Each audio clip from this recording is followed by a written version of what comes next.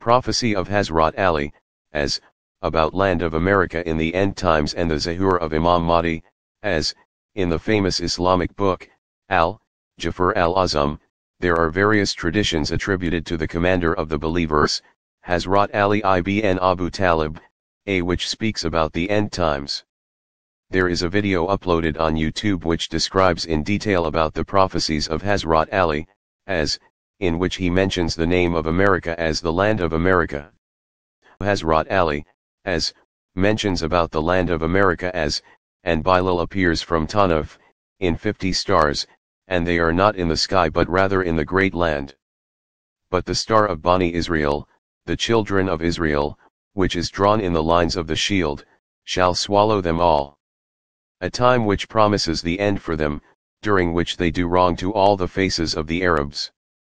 And the nation which disobeyed its prophet and turned off its lamp with its own hand, shall cry.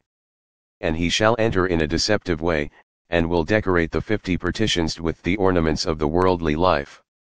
And he will tie the fifty cities to the rope of Bani Israel, the children of Israel, which comes from Mount Zion. He wants corruption in earth, and he wants oppressors to have a high status. They call it the land of the Americ. Their leader will be from the children of Isaac and the children of Israel. He will gather the people upon their language, and he will call them by their call. And the land of Americ will complete the fitna. After the blessings spread the wings of its generosity on them and after the world gave them its pleasures, and after Iblis, Satan, walked in its cities and alleys. After he violated its sanctities. And the religion of Iblis, Satan, will appear with them, desires, arrogance, and thirst for the worldly life. And they will become drowned in amenities and blessings amused with its goodness of its livelihood, happy with their sciences. Theer matters settled for them in the shadows of an evil ruler, and their condition ended with a losing side. Their world is only wants, wants without reaching anywhere. They are rulers on the ends of the earth, they know everything that takes place in it. And they will have eyes that would spy behind the clouds, and things like flags in the seas in which they store fire in the form of dust. It angers the ones who are oppressed in the earth, the non-Muslims and the truly Muslim. And Allah will establish his proof upon the lands of the Americ. So he will curse them by what they disobeyed and transgressed with. And the Mahdi will come down in the lands of the Americ from above the clouds. In some domes of sunlight. It has light in the darkness, like the moon and the stars.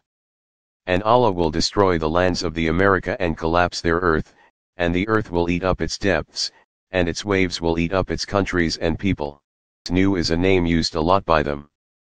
And there will remain from them new and new and new and new, to those who make lies and gold. And their efforts and exhaustion will all be wasted like dust with the permission of Allah.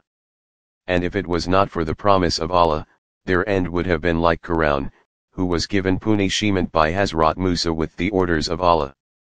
Until he says, and have glad tidings of a rapid victory by Allah, and a victory of an opening, a just Imam, by which Allah would please your eyes and move away your sadness. And he will distinguish by him, Imam Mahdi, between the supporters of Allah and his enemies.